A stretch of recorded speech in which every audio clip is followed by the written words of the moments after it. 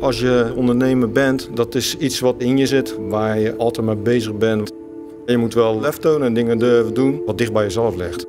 En te accepteren dat dat ook wel eens verkeerde keuzes kunnen zijn en daar weer van te leren. Wij eh, ontwikkelen eh, en produceren magnetische robotvoertuigen.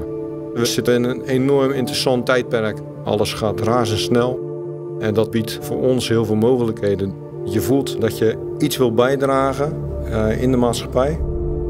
Onze wereld is heel groot, is heel divers. Het is complex om daar overzicht in te creëren. Exact helpt om de zaak inzichtelijk te maken. Om inzicht te krijgen in wat je doet en wat je gaat doen. De zaken duidelijk maken, niet ten koste laten gaan van de creativiteit. Creativiteit, dat zorgt voor innovatie.